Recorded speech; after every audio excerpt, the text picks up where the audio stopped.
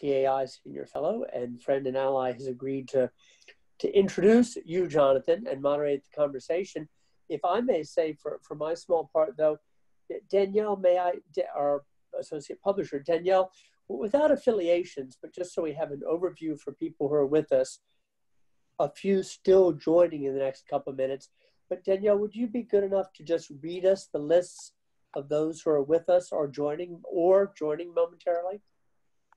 Absolutely, always. Um, so tonight we have among us Gabe Schoenfeld, Jacqueline Deal, Nicole Penn, Constanze Stelzenmüller, Richard Aldous, Sidney Lipset, David Kramer, Giselle Donnelly, Shadi Hamid, Jack James, Arch Puddington, Leslie Blakey, Marion Blakey, Andrew Albertson, Susan Garment, Alex Clapp, MJ Crawford, Adrian Pomescu, uh, Tom Melia, Patrick Chamorel, Seth Cropsey, Mike Fox, Jeffrey Kabaservice, Jacqueline Descholets, Michael Mandelbaum, Steve Lagerfeld, Julianne Shaw, and Luke Phillips. I, I hope I didn't miss anybody, but if I did, please feel welcome to introduce yourselves over chat as well. Uh, Danielle, thank you very much. And Craig, what a group you have for you and your speaker.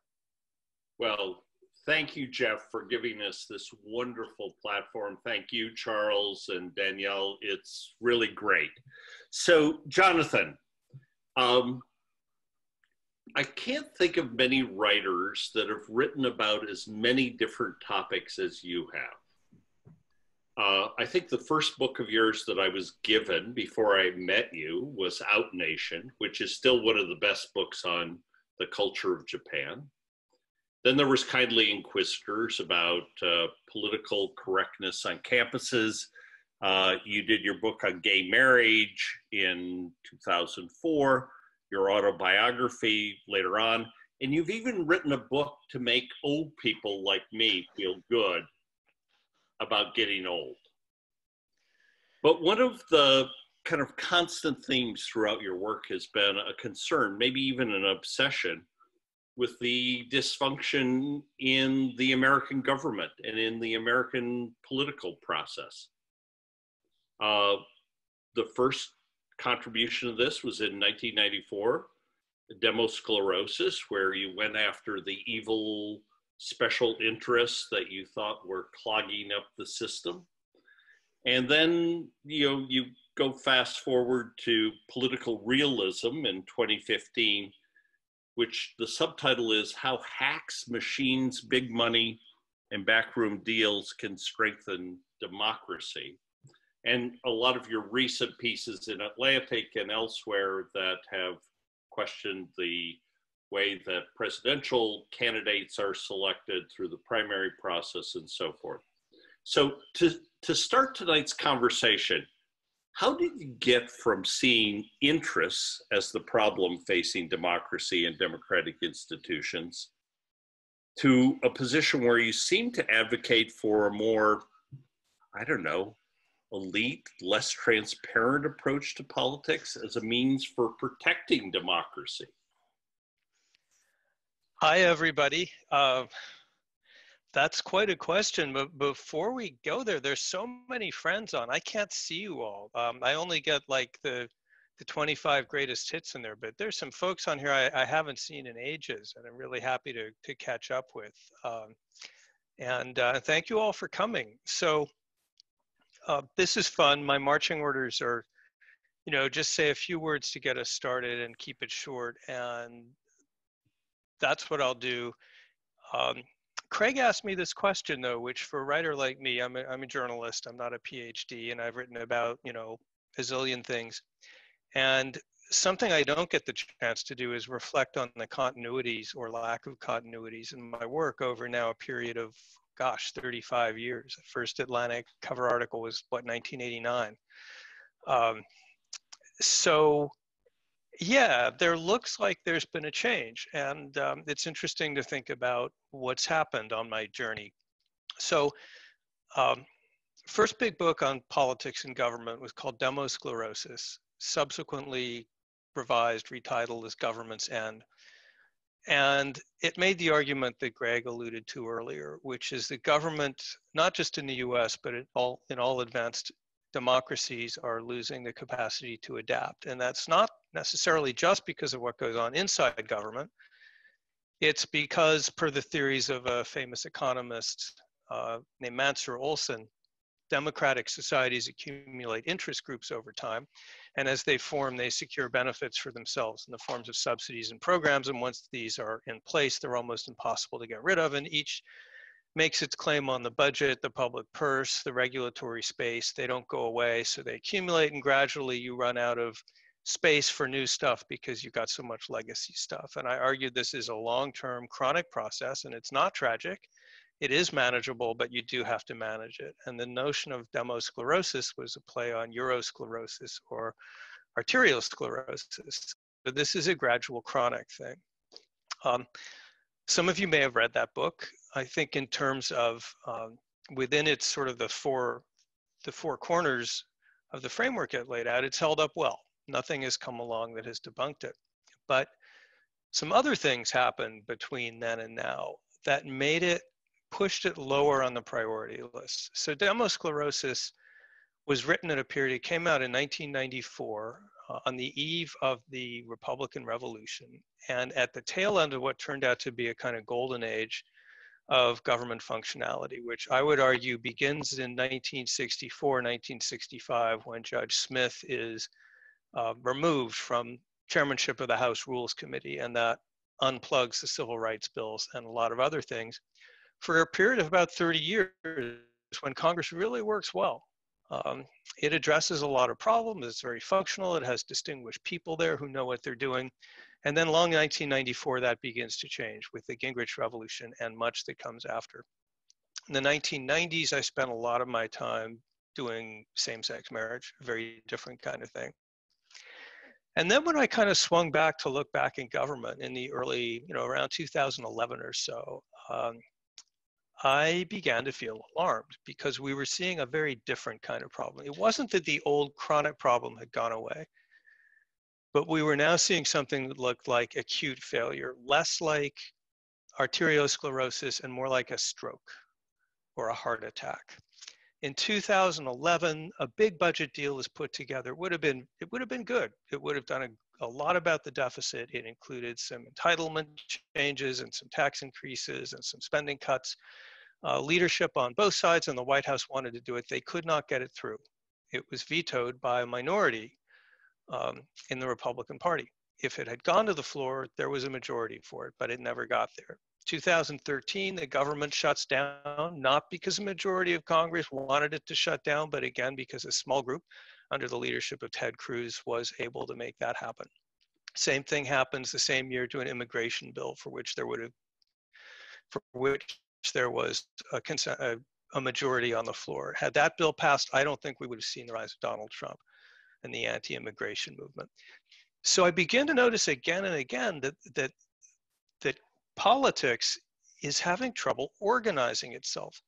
It's not just that we're polarized, that that is happening. It's not just that there's disagreement, but even when there are implicit majorities, there are failing to form. They're failing to take shape. And then we start to notice something else, which is the rise of what I call the political sociopath. That is not a psychiatric diagnosis. A political sociopath is a politician who doesn't care about anyone except themselves and doesn't need to care about anyone except themselves. They don't care what other politicians think of them because they're independent for meat, for money. They don't care about endorsements. They don't need media or they can get their own and so forth. They don't care if the party loves them or hates them. So these people can set themselves up in politics because you know they want a talk show afterwards or because it's a great platform for self-promotion. They're much less interested in the hard work of regulating and governing. We begin to see more and more of those people come into politics. Those are not people very interested in legislating. And we begin to see Congress losing its legislative chops. But then, of course, 2016, 2015, 2016, I will put my cards on the table. Uh, all Trump supporters are very welcome at this conference. Um, I, um, I'm not someone who will denigrate you, but I also feel that his election was a major failure of the kind I'm talking about. Specifically, he was not wanted by a majority of his party. He was not wanted by a majority of the country. He was a political sociopath in the sense I mean, a renegade operator who is in business for himself. The system could not stop him. Many wanted to, but it could not. So by about 2016, I start launching the next big idea. I call it political realism. Um, it's not that it supersedes or obviates demosclerosis, but it's a much more immediate short-term problem. It's what happens when a political system gives way to chaos. The core argument is this, that in order for politics to work, organizing has to go on in the background. We have this notion, it's, you know, voters and they elect candidates and the candidates do stuff and if the voters are unhappy, they kick them out and that's politics. Well, that's wrong. It's been wrong since the founding. You need a whole lot of organizing to go on in the background. And to do that, you need some things to happen. You need to have political parties that can act as long-term institutions that can sort out which candidates belong in which races. It can have a farm system. It can recruit. It can then vet people to see if they're going to be team players. You need to have some privacy so that you can do adult negotiations in public without interest groups blowing you to smither, smithereens. You need to have some control as a party of who your nominees are.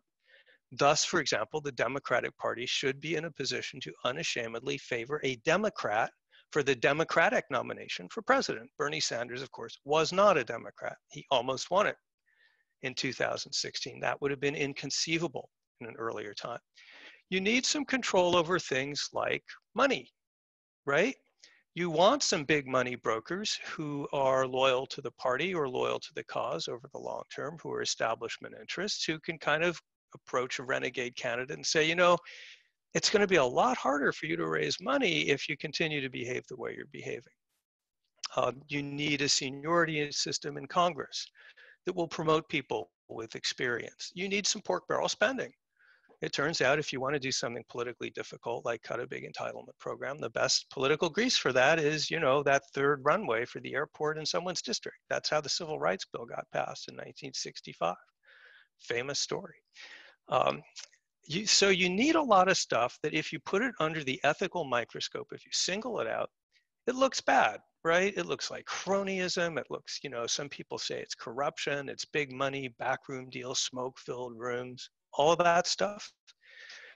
Well, a lot of things have gotten us to where we are. We can talk about them, polarization, rise of social media, um, the atomization of money, all those things I grant you all those things are happening. It's I'm not a monocausal person, but I claim, and a lot of political scientists also claim, um, that part of what's happened is we have systematically over 40 years dismantled most of the mechanisms that we rely on to organize, to allow political professionals to organize politics. And that extends to demonizing the very idea of political insiders, political professionals. Um, well, if you dismantle all the things that need to be done to do air traffic control in an airport, you cannot be surprised if the planes get snarled, if they begin to crash in midair, if you begin to see behavior that would have been unthinkable for the previous 200 years of American history. So that's what uh, that's where I'm coming from now. Something very interesting is that everything I've told you is political science 101 somewhat controversial, but not very, but it has not penetrated the popular consciousness, which is still based on the sort of consumeristic model of politics where, you know, it's like the grocery store, you pick your candidate, you go home with your candidate, and then the candidate does what you want as a politician, or then you fire them. It leaves out the entire distribution chain in the middle, all the other stuff that has to happen. So my current job is to try to get the public um, and the reform community to notice all of the stuff that has to happen in the middle and to try to pull back on the jihad against political corruption and to, to argue or at least to consider the biggest problem in American politics right now is not corruption, it is chaos, it is dysfunction. Uh, we will see more Trumps, especially in the Republican Party, for reasons we can discuss in the future. He won't be the last if the parties are unable to exclude certain kinds of people. Um, we will see more dysfunction in Congress and therefore more passing of power to the presidents and the court if we don't re-empower the systems that let people like Nancy Pelosi do the manipulations they need to do, and so forth and so on. So I see myself as kind of a realist in both of these spheres in my career, but sort of segueing from from chronic care to acute care. Um, I guess I guess that's more than enough. Wow. Okay, so uh, this crew of people that come on the TAI calls know how to use the raise your hand, or you can send a note to either Demir or myself or Danielle, and we'll make sure that you get recognized. Uh, let's see. The there there was a hand up. Luke. Hi, uh, Jonathan. Thank you for uh, being here and making this uh, this presentation of the corpus of your work, and hope you're doing okay in quarantine. Um, I uh, I was wondering um, what your opinions are on the responsible parties thesis that uh, has come back into vogue in the last two years or so. I believe somebody wrote a uh, the there was a book um, on responsible parties uh, for our era written about a year or so ago, and the authors actually wrote a long piece at the American Interest uh, summarizing their argument. Uh, so I was wondering if you could uh, just comment on uh, if stronger parties um, along the lines of what those authors are thinking uh, is part of the political realist solution that you're arguing for. Yeah, thank you. Hey, Luke. It's it's wonderful you're here. I'm, I'm glad to see you and glad you're okay. Um, the yeah i'm a fan of that book. So a big chunk of what i've been talking about comes through the political science literature in a conversation that's gone on for about 50 years about american parties. There's only one type of organization in america that even in principle can do the work of the background organizing of politics with a long-term time horizon. And those are the political parties. Um, unlike candidates they have a more than two to four year time horizon. Um, they have institutional histories. They have brands they need to consider, which tends to make them more responsible in the long run than individuals. They have organizational skills. They have hierarchies. And we have systematically weakened them over the period of the last 50 years. Uh, we have passed regulation after regulation that now makes it, for example, harder for the political parties to raise money than any other entity in politics. Uh, just for example, um, we have made it harder for the state parties, uh, a very important thing in politics, to do their job. So yeah, I'm a fan of strengthening political parties institutionally. And then the next thing someone's going to say, well, we're hyper partisan. Why will that help? So this gets really interesting. I am convinced by the argument that a weird thing that's happened is the weakening of the parties institutionally. That is, as organizations with a past and a present and a future that can hold people responsible and accountable over time, and that can recruit people who are responsible, that can worry about governing, the weakening of those has increased the amount of oxygen available to the hyperpartisan activists and outsiders who rush in to fill that space. It's also increased the ability of extremists to run in primaries. That's a huge part of, I think, what's broken here, the primary process. It's very hard to exclude extremists, hyperpartisans, political sociopaths. The more those people run and get elected, the weaker the party become. The weaker the parties become, the more those people can run. The more those people get into Congress, the more moderates don't want to run because they don't want to be in that environment and they can't get anything done. So you get in a cycle long way of saying, yeah, I, I am a fan of the book you refer to. I'm annoyingly, I can't, is it Grossman? Grossman and somebody? Um, I'm a fan of the book. I'm a fan of the hypothesis. I'm the first to agree there are problems with strong parties. There are problems with everything in politics. But right now, the problem is that they're too weak, not too strong. That's especially true on the Republican side. What you've seen on the Democratic side this year is really interesting um, because it showed that old fashioned party insiders actually in the Democratic side can still kind of do their job.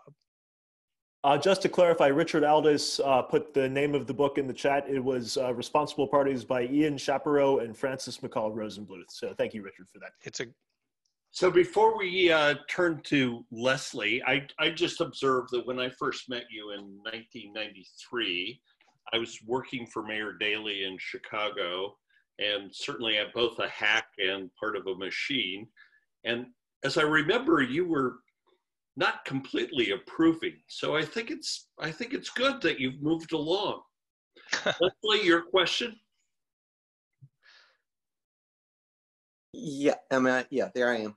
Uh, yeah, so in this context that you're talking about, uh, with um, the the need for parties and political institutions to be able to do this kind of organizing, uh, and you mentioned Pelosi, but I I would really love for you to comment a little bit on Mitch McConnell and his approach, which is um, basically been to spend as much time and, and political capital as possible on uh, confirming judges um, as opposed to other the other business of politics.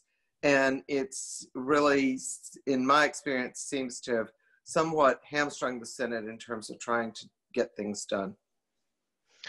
Uh, lots of problems with the Senate, of course. Uh, Mitch McConnell's an interesting character because he is about as close as you can come today to a classic machine politician. Actually, Nancy Pelosi's pretty close to one too. Um, I don't recall Craig uh, being disapproving of, of Mayor Daley. I'd certainly never be disapproving of you because um, when I was only 20 years old, I read George Washington Plunkitt, The Sage of Tammany Hall, he wrote this wrote this brilliant book which you should all read. You can read it in two hours and it's hilarious. These are lectures that he gave. He was a tammany hall hack and he's explaining the importance of, of machines political machines patronage and pork and what he called honest graft which is the use of bribery to do stuff that the party needs to do not just to line individuals pockets. So mcconnell is kind of in that mold um, he's the guy who does the dirty work of when someone's running for Senate and he thinks the guy's going to be toxic to the majority, he, he drops the hammer. Uh, he's good at that kind of thing. And he is someone who I think really only cares about um, three, two or three things.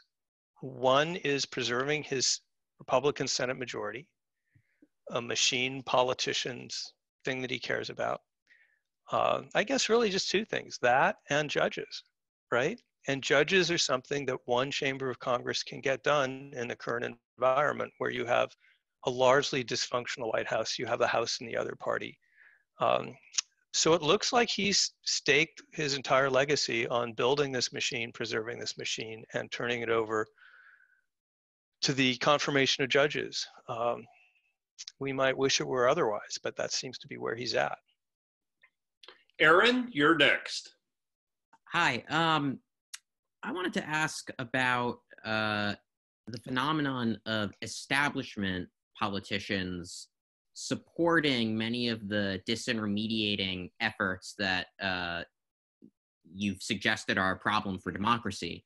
Um, in particular, I hear a lot of people on the center left disparage the Electoral College despite claiming, I think correctly, to think that direct democracy is bad and that some degree of you know intermediating representation is good. What do you make of the phenomenon of people within the establishment arguably supporting at least in rhetoric things that weaken their ability to do this kind of party politics? That that's such an astute observation aaron and it's something that um, i've i've done my best to push against so it turns out if you ask the American public if they want a stronger or weaker role for parties, lots of them want a stronger role. Um, a colleague of mine, Ray LaRaja, a political scientist, just did that. Um, he asked the general public, so if you had a certain amount of authority over who nominates candidates, how would you allocate it between professionals on the one hand and the voting public on the other. And it turns out they want to allocate about two thirds of it to the voting public and one third to professionals. This is how America has done it until 2016, first formally through smoke filled rooms and then informally through the invisible primary, which was all the establishment sign offs that party, the candidates had to get. And it turns out the public is very comfortable with a significant element of professional input. So, who's not comfortable with it? Well, activists and elites like us. Because who benefits from a system where professionals and hacks and backrooms are weak? Well, activists, the people who can form groups and put up candidates and create their entire own candidate pipelines for development and recruitment, and fund the candidates and push whatever their agendas are and take over the primary process. And people like me, right? The journalists, the writers, the media, the pundits, the people who now get to say, because the old fashioned political professionals aren't the gatekeepers. So we decide who won the debates and who lost the debates. Well, that's that is great for us. Um, part of part of my challenge is to convince people like us that actually what we've done, and in I, I don't mean to say we've done it cynically. This was well-intentioned reform that was designed or intended to strengthen democracy. It's just based on a false theory. But but part of what I'm out to do is convince at least some of the people on calls like this one to do a rethink. It is I don't think the public is actually the big problem. Um, I think the problem is more like people like us. I'm so glad you brought that up. It's something I, a point I rarely get to make. No, thank you for your answer. That's great. Fox. Excellent. Thank you so much. Um, and I first want to. We're great in Back to the Future. and underrated in Spin City. Um, though what I did want to say is I'm actually a former student of Ray LaRaja's. And uh, oh. so I definitely enjoyed the piece that the two of you co-wrote a few months back.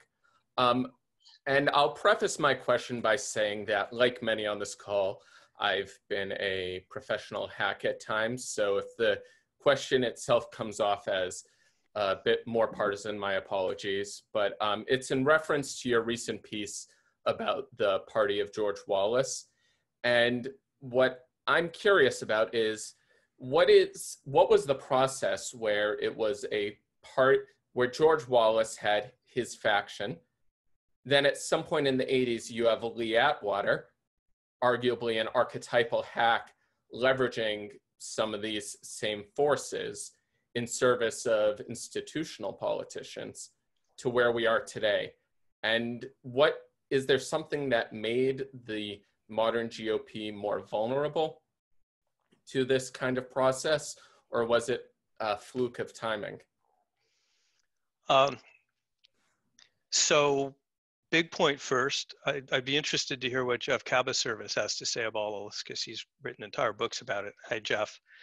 Um, there is an asymmetry between the two parties. Republicans now are more like a populist insurgency with less ability to stop political sociopaths than the Democrats, who have more residual capacity, as we've just seen. Um, why did that happen? So a bunch of things happen. One is, have to say this with Michael Fox on the call, Fox News. The rise of Rush Limbaugh and the alternative media establishment, which had a radicalizing influence and which it became very important for politicians to court.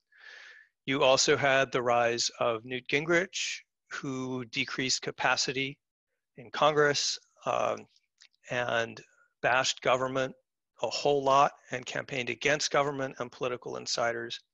Um, you also have the winner take all primary system on the Republican side, which is what made it possible for Trump to roll up as many delegates as he did as quickly. And it turns out, according to a paper that Ray and Ray and I think Brian Schaffner is, is no, uh, Zach, Zach Albert just published.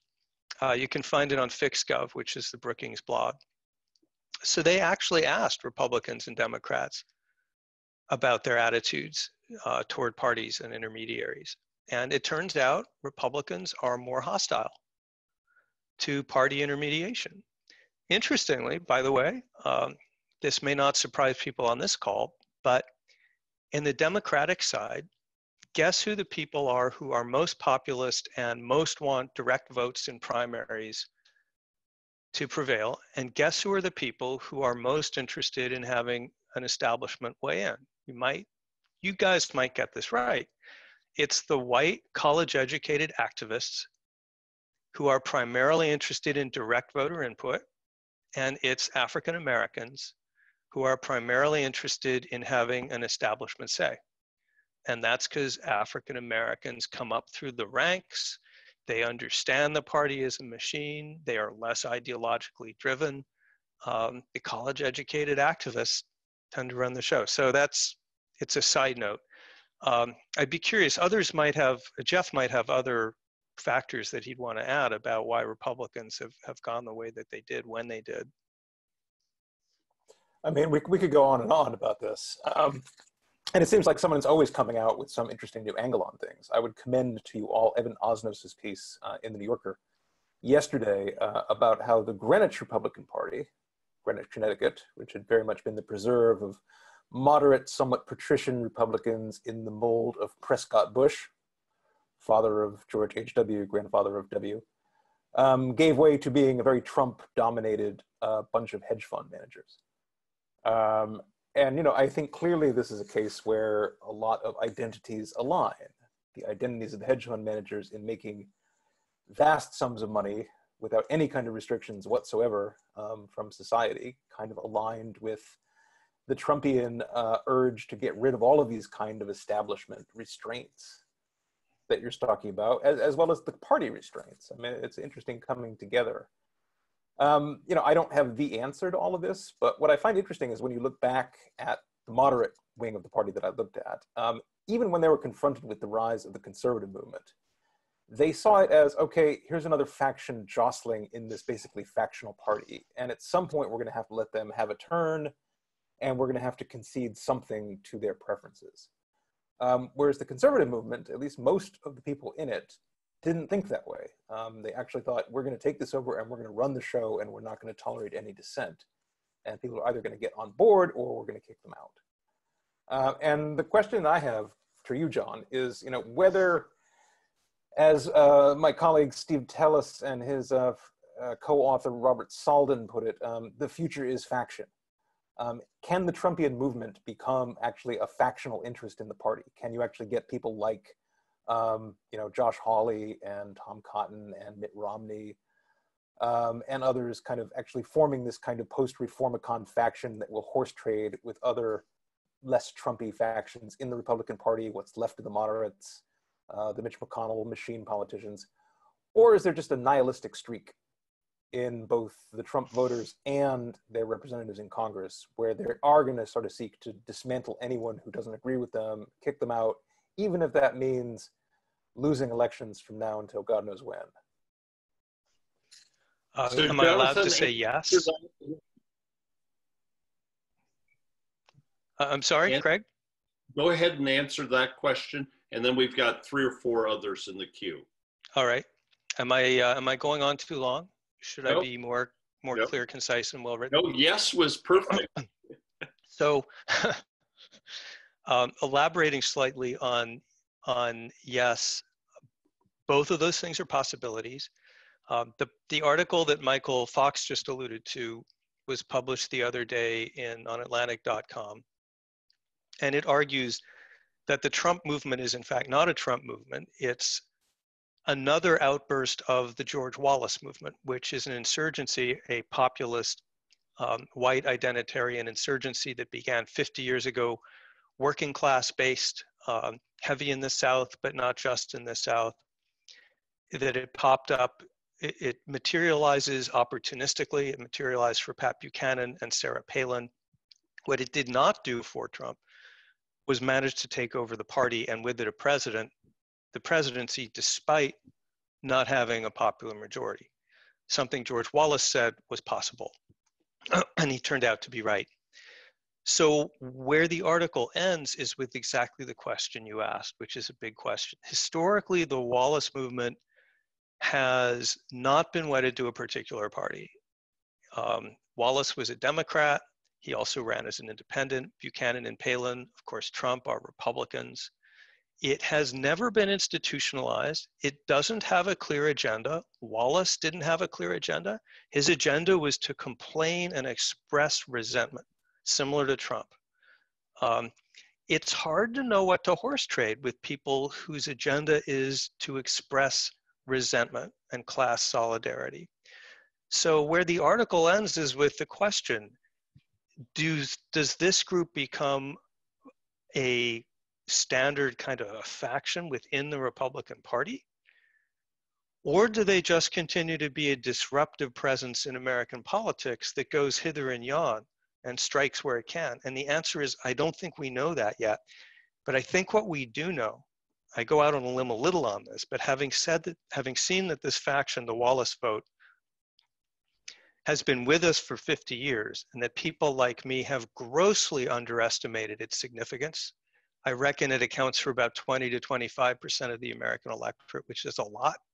Now that it's tasted power and it has organization and money, it's gotten stronger, not weaker. And in some form or other, we're going to be living with this as a major force in American politics for the indefinite future. Okay, Suzanne Garland. Feeling, feel better now? No. Yeah, your turn, Suzanne. You're muted, I think.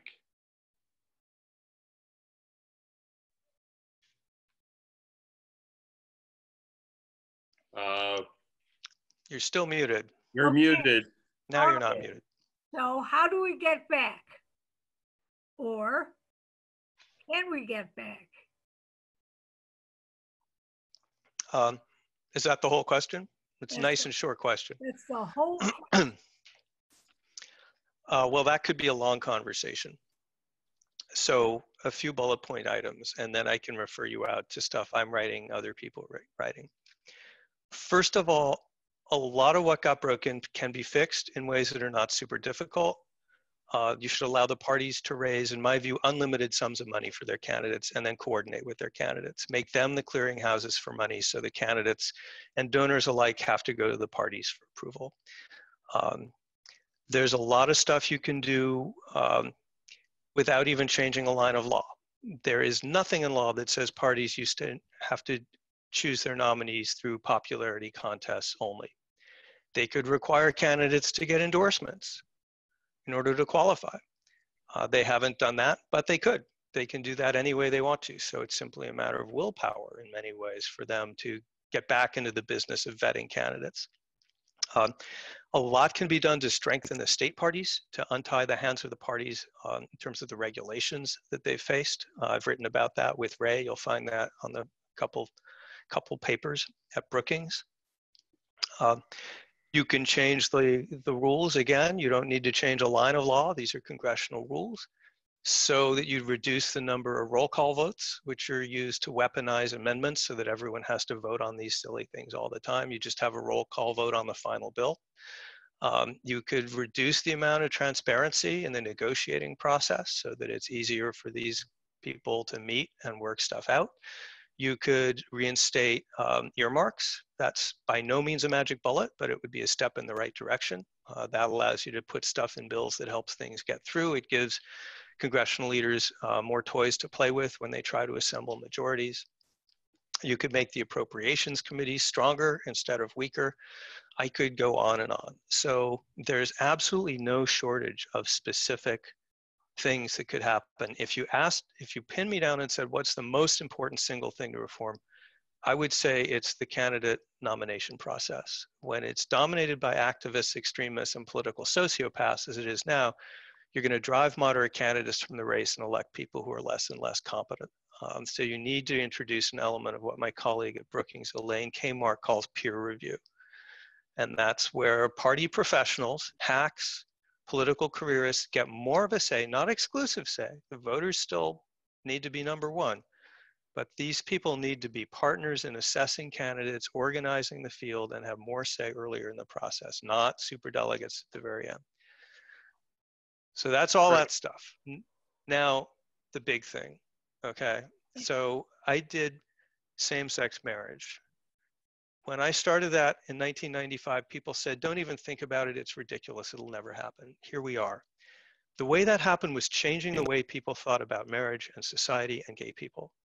But the first thing that had to happen before the specific efforts was to reorient people's thinking. So the big job here is to reduce the hostility, especially among the class of people like us, to political intermediation so that our knees don't always jerk in the direction of more transparency is always better and small donors are better than big donors and we've got to reform the rules to make it even harder for the DNC to help Hillary Clinton if that's what they want to do. If we can change our mindset, everything else gets much easier. Okay, Nicole Penn and then Jackson. Nicole. Hi, Jonathan. It's good to see you. Um, so I was Hey. wondering if, if you could uh, draw in some arguments from Lee Drutman's recent book, Breaking the Two-Party Doom Loop, and I'm particularly interested in how he um, he argues that the nationalization of our politics has a lot to do with um, the polarization of the parties. And how do we put that genie back in the bottle when you know it's not fun or interesting or there's not a lot of incentives to get really invested in you know the political debates that people actually know something about school boards you know what to do at the local level. Um, but it is really fun to go on twitter or follow that viral facebook thread about um, you know a drag time story hour in philadelphia when you live in arizona. So you know how do we um, do you have any cultural arguments? Because you've, you've talked a lot about some very specific changes at the political institutional level but what do we do about the cultural forces that are making it impossible for things like uh, you know liberal republicans and blue dog democrat democrats to exist anymore Um, again, a lot to say about Lee's book. This is Lee Drutman. He's at New America Foundation. Um, to our eternal regret, we lost him from Brookings. Um, he wrote a, a book arguing for going to a system with proportional representation and multi-party democracy. He believes the two parties are irreparably broken. So he wants to go with something more like uh, Italy or Israel. Uh, that's a whole different argument. I think he's wrong about that, but I also think it's the wrong conversation, and that given the system we have now, that increasing the ability of the parties we have to do their job as parties of doing political organizing is more important. Um, so, Nicole, I don't pretend to have easy answers to problems like social media and the polarization of society as a whole. Um, but I think the, I, I, there are aspects of this that can be addressed, and I just mentioned some of them. One is there's still a lot of mo- moderate voters out there. I happened to look at the the uh, Pew figures on polarization, and although um, so the American public used to be hill-shaped with the big lump in the middle, was it was a bell curve, and and people were mostly moderate in the middle. Now the curve is flattened, but it's not bimodal. It's not two mountains that are apart in the general in the in the public in general. Um, it's just flatter. There's not as many people in the middle and more toward the edges. So where's this bimodal distribution? These two mountains side by side. I wish I could show you the picture that don't overlap. It's in the political activist community. It's in people who are highly and politically engaged, and they are very polarized. And they are the people running for office. They are the people voting in the primaries. They are the people who are vetoing the moderates. Um, if you can do some of the other things we talk about, you can present moderate voters with more moderate choices, for example, or more pragmatic choices. One of my favorite sayings is Mo Fiorina, political scientist, who points out there can be no moderate voters if there are no moderate candidates. Um, so in answer to your question, there's no magic bullet solutions to fixing the culture and polarization is another conversation and i'm terribly worried about it but the political system right now the loss of intermediation has made it harder to build coalitions within the polarized climate and that exacerbates it further Jackson, your turn. Jonathan, I wanted to ask you about um, two things. First of all, how do you see state politics fixing, uh, figuring into your analysis? Um, uh, in the sense of political leadership in individual states, they've got to have a role here and they're going to be asymmetric a bit. But I'm just wondering, how do you see that uh, factor uh, beginning to get at the knot of the problem that you've identified? And I wonder if I could just, Craig will uh, forgive me for asking these questions it's a little bit out of bounds, but um, I spent a lot of time in Germany, and um, I was curious as to how you see, looking at Europe, any lessons that we could use here from our, Yeah, from their perspective. well question number two is easy to answer because i see Constanze Stelzenmüller on the uh, uh, oh she's looking up like a deer in the headlights. Yeah that's that's you Constanze she is an expert on on this topic in uh, in Europe specifically, uh, and I'd love to hear what she has to say about part two of your question. Part one, you know, I haven't done a lot of work studying the state level issues. I don't think they're fundamentally different, though I think the, the lower you get in the food chain, the closer you get to the ground, the more pragmatic politics becomes, just because you're more and more worried about filling potholes and stuff like that. But the only state level aspect of this that I've really had the opportunity to explore has been understanding what's happened to the state parties, which are a fundamental player in American politics, almost completely neglected by policymakers and students of political science alike. But these are the people, state and county party officials, who are going around saying, hey, uh, Jackson, uh, why don't you run for such and such? And Jackson says, I'd rather run for governor. And they say, no, you're not ready. Um, they're doing all that hard background work of organizing and recruiting and they have been substantially weakened but that's not really addressing the question you're answering. So i guess i guess i don't really know yet. Um, it's a great question and i should explore it. Richard Aldous.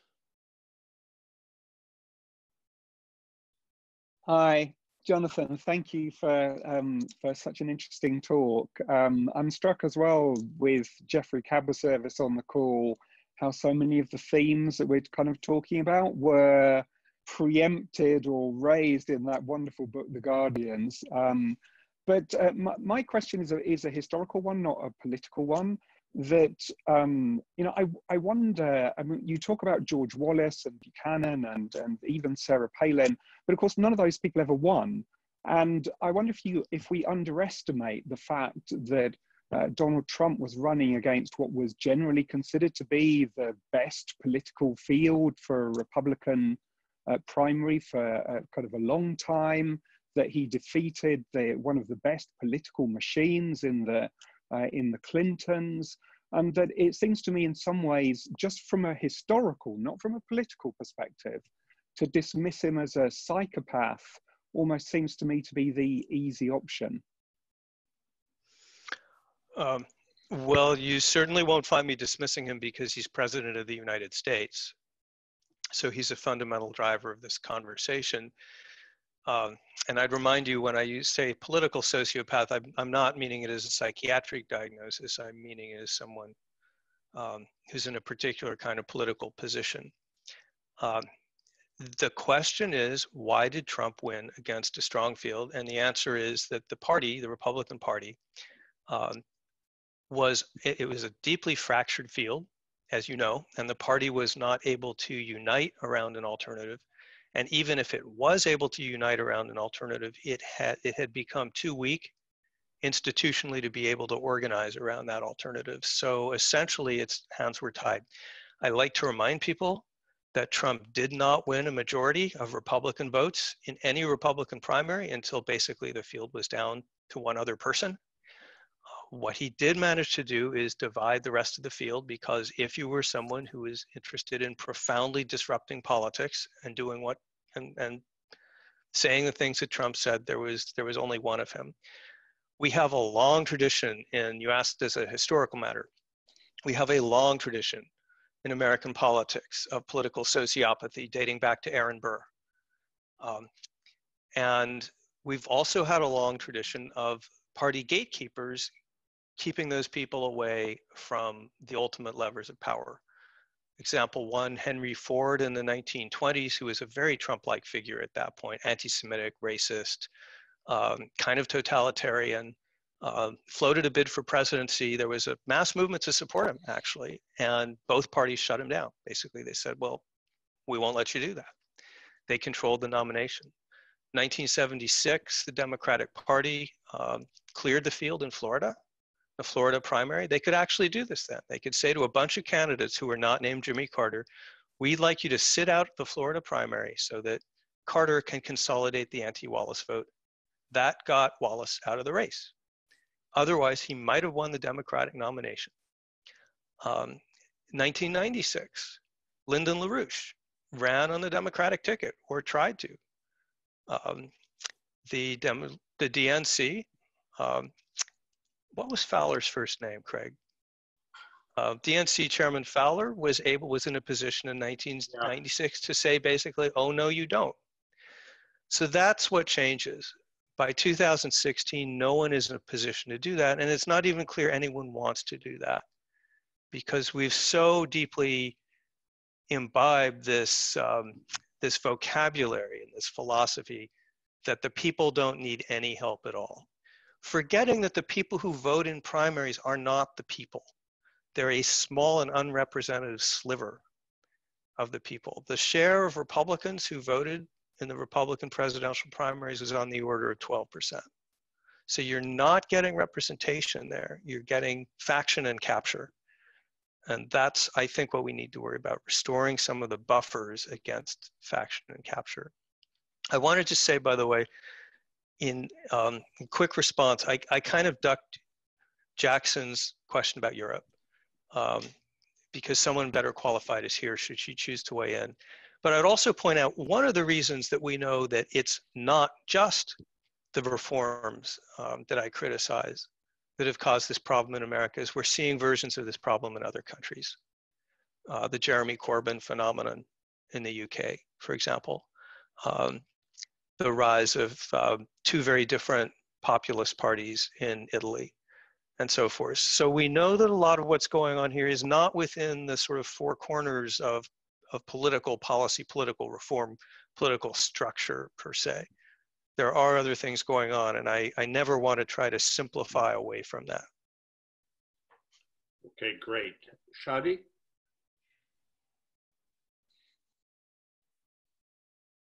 Hi, uh, can you hear me fine? Yeah, Perfect. hi Shadi. Uh, hi, hi Jonathan. Um, nice yeah, to see so you. I have, uh, yeah, you too. Um, so I have uh, maybe uh, a slight, a purposely provocative question, mostly because I'm just curious to hear how you'll respond. Uh, we know we can count on you for that. okay, great.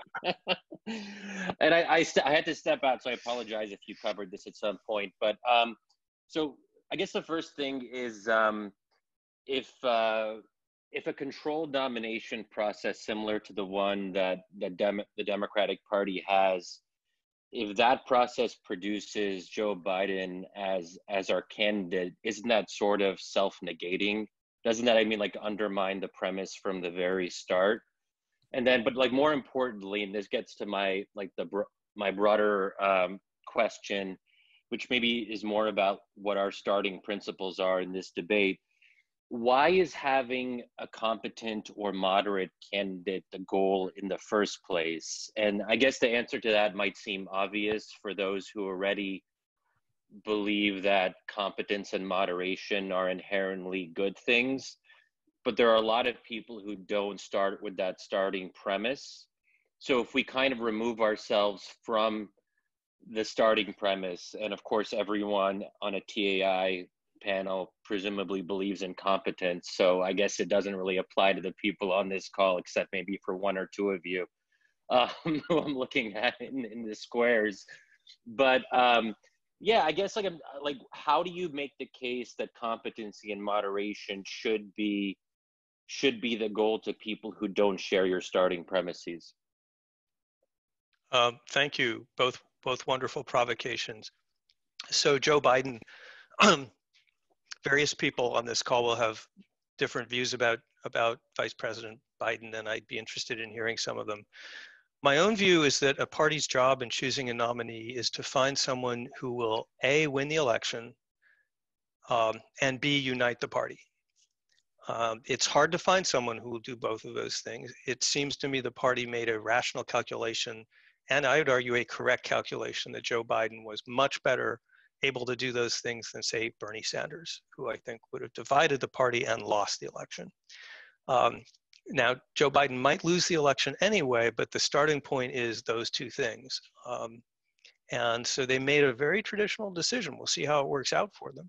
But I, for one, as you can guess, was relieved to see um, that that party, party regulars um, in particular, um, voters in South Carolina to begin with were able to join ranks. And then, then you saw behavior by other candidates that amounted to clearing the field. Um, the second question, the second point, so competence and moderation, yes and no. I'm an unapologetic believer that governing is really, really hard. much, much harder than brain surgery, and competence is really important, especially at times like this, and that it is not good for a country to fetishize amateurism and authenticity at the expense of competence and capacity. And I'm afraid that that's what we've done, especially a lot of a lot of voters, especially a lot of primary voters. Moderation, not so much. Um, the point here is not to elect moderates preferentially. The point here is that I and a lot of people argue that the system as it is now, especially the primary nominating process, discriminates against moderates. So the point here is not to overrepresent moderates, it's to correctly represent moderates. There should be more moderate choices than there are. And if there are, I think more moderate voters would then come out and vote for them. But, but Jonathan, what, sorry, one, one very quick thought, just very quickly though. I mean, what, what would you say to those who don't think that competence should be prioritized over other objectives if you were trying to convince them? To get on board with your with that's your a good view? question. No one's no it's that's never arisen in a conversation before. I guess you're kind of describing you're kind of describing the insurgent vote the wallace vote the burn it all down vote. We see some of that on the left and some of it on the right. Um, and i'd have to think about whether those people are persuadable and maybe the answer is they're not. But in a capable political system they're a minority. They're not even that large of, of a minority. Um, and you try to integrate them into the system to some extent. Um, you don't want to muzzle them. You, you don't want to silence, silence them or disenfranchise them, but you also want to be able to build a competent system around them. So I guess, to, I'd, I, mean, I guess I'd say that. To, to follow up on Shadi's point, isn't, isn't the point that many of those voters who voted in 2016 felt that the technocrats had not been competent, that they had not delivered competence for, for those voters? Um, maybe. I think they were more worried about uh, the financial crash and the bailout and immigration. Um, so I'm not sure it was an crash, issue of competence the, fi- the financial, se. But the financial crash was incompetence, wasn't it? I mean, it was it was the system breaking down, plus globalization breaking down. All of these things that as I say, I'm, I'm not making any political points here, but I mean, it seems to me that those voters felt that that very, those technocratic answers, globalization, competence, all of those things that, that we're talking about here, that somehow they had failed them, that they had not delivered for them.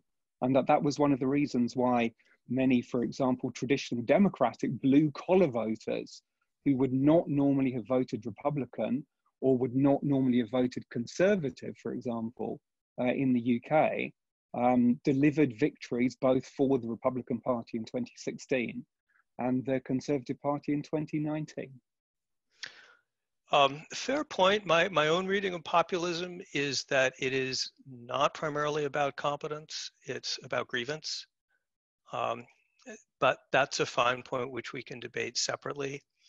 Um, I guess the reason I exist is to make the argument that competence and experience um, and a long-term view matter in government.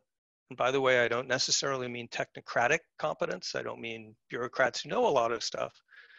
I mean people who've been around long enough, you know, in a state legislature or a governorship so that they understand how to build a coalition and make a deal and how to legislate and they feel like they'll be in the system long enough so that they need to be accountable for the results and not just for the one vote um, and that they have goals in life that are larger than you know getting a talk radio shows but i guess i'm here to argue to the world that we have undervalued those things and that the voters who think the answer is to insert more and more amateurs um, on the grounds that, that they will somehow be more representative and more authentic um, are making things worse not better I guess I just have to win that argument.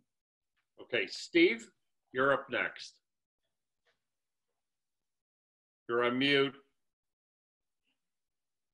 Yep, unmute. Okay. There we go. Hi, hey, Steve.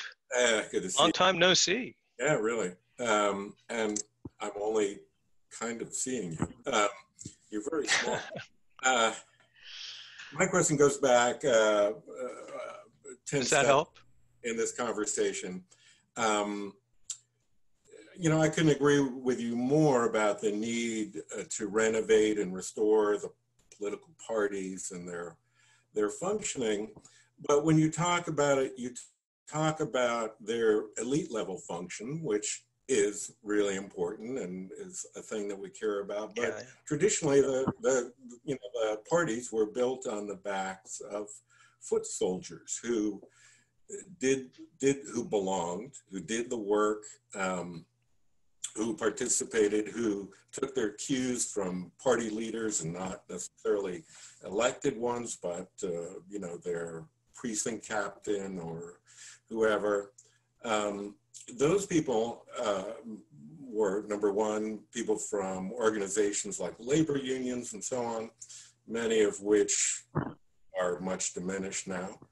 Um, or two, you know, people who had other incentives for participating in the life of a political party. Um, and that those could be many reasons, but of course the most obvious is you could get something for it. Um, you know, there were jobs, there were turkeys, there were favors, there were all sorts of things, many of which aren't uh, available or even needed anymore in the sense that what now get are policies. You know, they get a, a social benefit or, uh, you know, a, um, some kind of legislative action. They're not getting uh, personal things. So my question is, in this sort of renovation process, what's in it for the people who are below the level of the gatekeepers? How how do we how do we rebuild the the foundation of a party? Oh, what a what a challenging and interesting point. And yeah, we, we do forget that in the heyday of the party system, the parties were very much participatory, you know, torchlight parades and picnics and yeah, the Thanksgiving turkey and all of that stuff. My uncle uh, actually, my late uncle was was one of those people. He was a, a unionist who never missed a meeting of his local Democratic club. Um, even when he could barely walk, he would hobble over there. The party was his life. We don't see that anymore. I don't know many people who think that we can go back to, to parties being big grassroots organizers, though I don't know. I'd, I'd love to see it tried. I do know people who understand that the political parties remain a lot more than just the top level elites. Um, when Ray and I took a hard look at the state level parties, and we actually we surveyed all of them and got responses from like over 50%, which was amazing. We discovered that they still have a fair amount of institutional capacity. No, they cannot do a lot of participatory organizing, but they can still do some. What a lot of them are doing with is teaming up with um, party auxiliary groups like Move On or Indivisible on the Democratic side or the Chamber of Commerce on the Republican side who are doing some of the local grassroots organizing for them. Now that's problematic because these outside groups are dual use technologies and they can turn against the party at a moment's notice they're accountable to themselves and not the party. But that's what the parties were doing to try to rebuild grassroots capacity. Um, Ray and I argue that some of a little of this weakness, at least, could be addressed if we untie the party's hands, make it easier for them to raise money, um, which is very, very hard for them to do right now. If you read a paper we wrote on state parties, it's the Brookings website, you'll see some of the, the absurd regulations they live under that just don't make any sense. And in 2020. Uh, so I guess where I'm coming from on that is we're probably not going to see the return of, of party torchlight parades, but there's still a lot that can be, there's a lot of structure there below the top level, and there's a lot that can be done to reinflate it. Andrew, you get the last question. Well, thank you very much. And this has been an incredibly interesting conversation. So thanks for pulling us all together and for leading it. Um, yeah, I'm, I'm coming at this more from a uh, professional practitioner standpoint than a, than a theor uh, theoretical one. So I'm trying to think about how my, or, my own organization uh, interacts with some of these dynamics. So, um, but what's your organization? I run a group called Foreign Policy for America.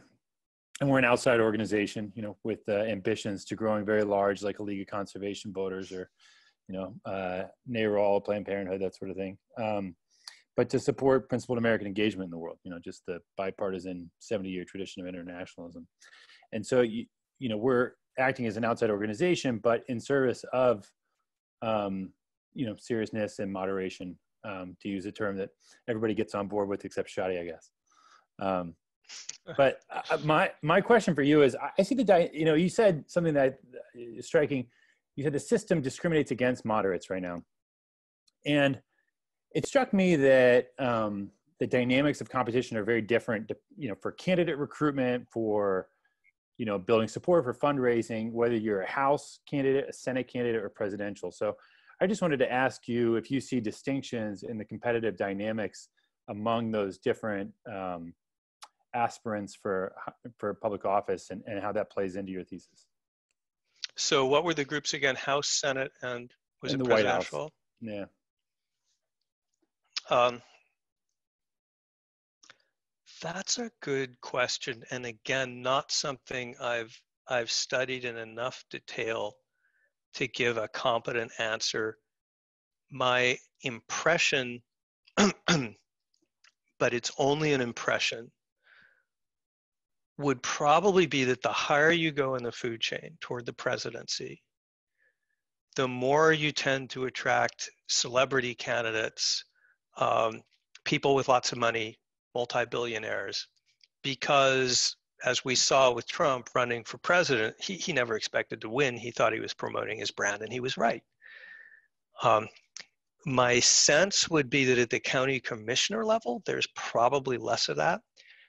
But in the bigger picture, um, if you pull away from the differentiations, what I'm reading and hearing, the scholarship on this on this suggests that at most levels, we've seen a movement over the past 20 or 30 years to selection by um, relatively extremist activists and away from party establishments.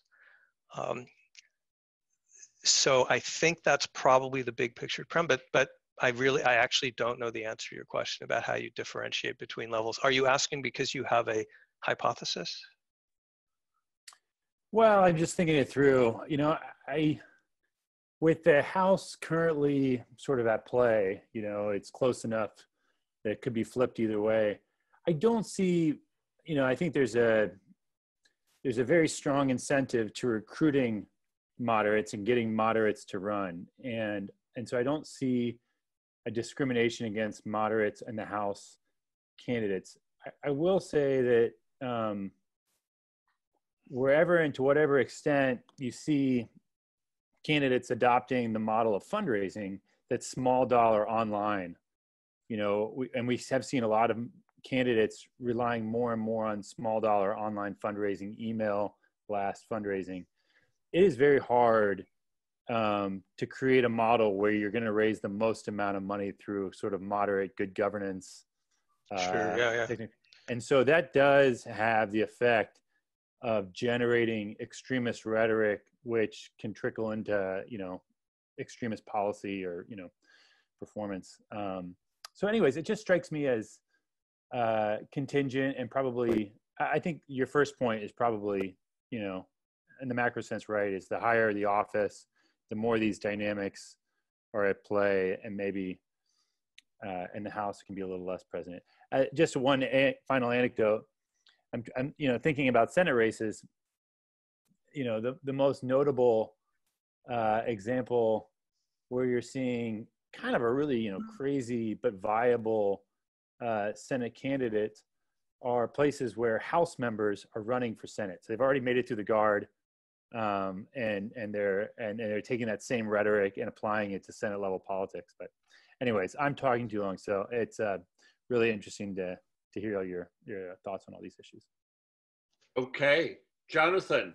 I don't want to get uh, I don't want to get on the bad side of Michael, who I know is making uh, dinner in the background. Uh, thank you so much for a great evening when we see each other the next time, I've got a question for you about Illinois politics because I think it breaks your uh, model of uh, of uh, state parties, but it can wait till then. Illinois, Illinois is a mess. I give you It that. is a mess, but it's got a very Not strong every- Democratic Party. Anyway, no guarantees in politics. Uh, thank you for having me, and especially, I'm sorry we couldn't get to everyone. It was such a good conversation. Um, I'm, it was an honor to, to be with a, a group of this caliber. I hope you, you can find me through the Brookings website or my own website. I hope you'll feel free to get in touch and continue the conversation. Um, and thank you again. And what a great group tonight. Thank you Amazing all. group. Time for Thanks, dinner. Craig. Thanks, Jonathan. Thank Thank, you. you, Bye-bye. everybody.